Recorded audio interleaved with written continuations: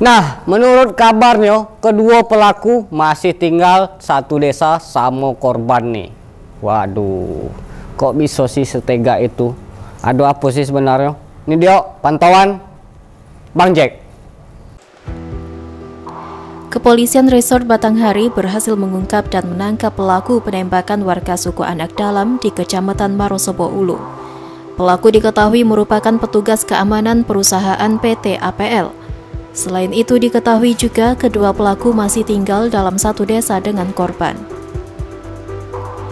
Diberitakan sebelumnya, korban Amin, warga suku anak dalam, tewas ditembak dengan senjata rakitan berjenis kecepek oleh pelaku yang bertugas sebagai petugas keamanan. Saat dikonfirmasi, pelaku mengatakan bahwa pada saat malam naas tersebut, dirinya mengaku tidak mengetahui ada yang tertembak oleh senjata api rakitannya tersebut. Pelaku mengaku dirinya spontan melakukan penembakan karena melakukan patroli malam. Pelaku juga mengaku menyesal sudah melakukan hal tersebut. Sebelumnya ya. saling kenal? Saling kenal. Saling kenal. Saling. Satu desa? Jadi setelah korban jatuh kita tidak tahu siapa itu sebenarnya.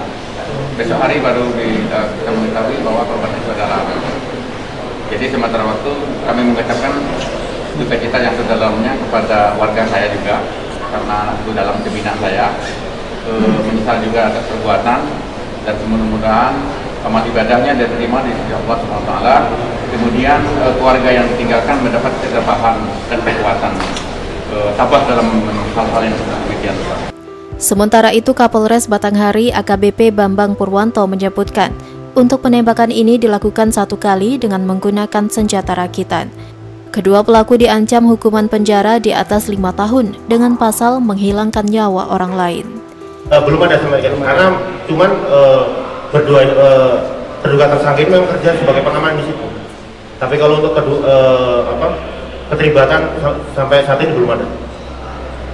Itu uh, berapa kali pak penembakannya pak? Satu kali. Satu kali? Satu kali. Ancaman. Ancaman hukuman di atas di atas lima tahun.